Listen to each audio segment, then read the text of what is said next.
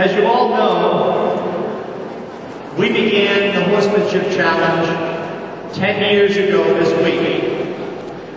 And the original Horsemanship Challenge was won by Katie Madison, who set a standard that we have been striving for ever since.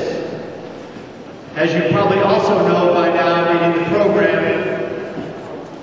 Katie was tragically killed in an automobile accident way to a horse show that following summer. And this event stands as a tribute to her in the horse industry.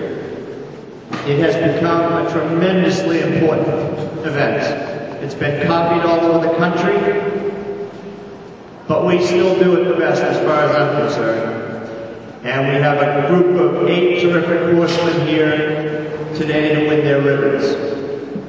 Course, I'm going to pin from eighth to first. They have no idea where their position is in the standings.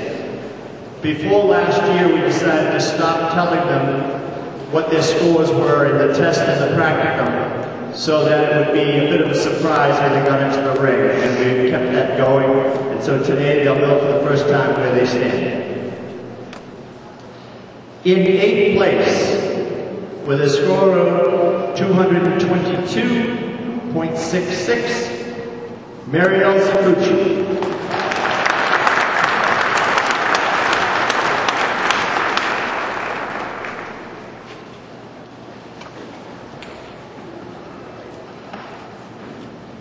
And for the first time, we have a tie for sixth place. First time we've ever had a tie in this. We have a tie for sixth place between two riders. And so we will leave them tied. One of you will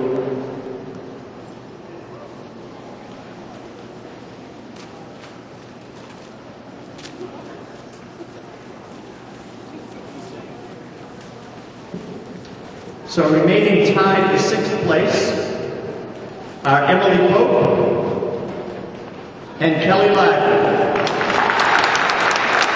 With matching scores of 227.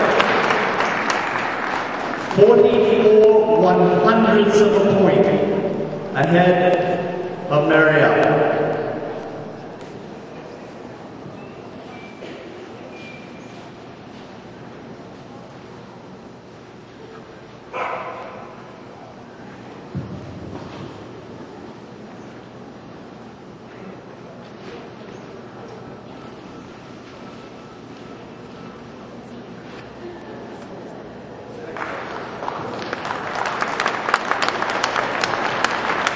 in fifth place with a total of 233.33.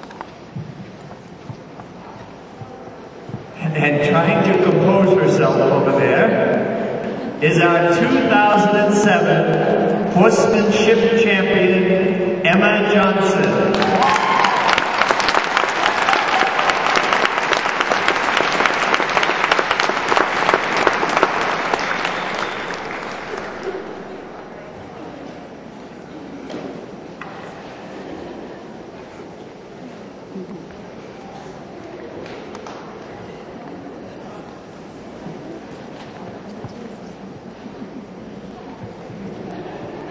And as is my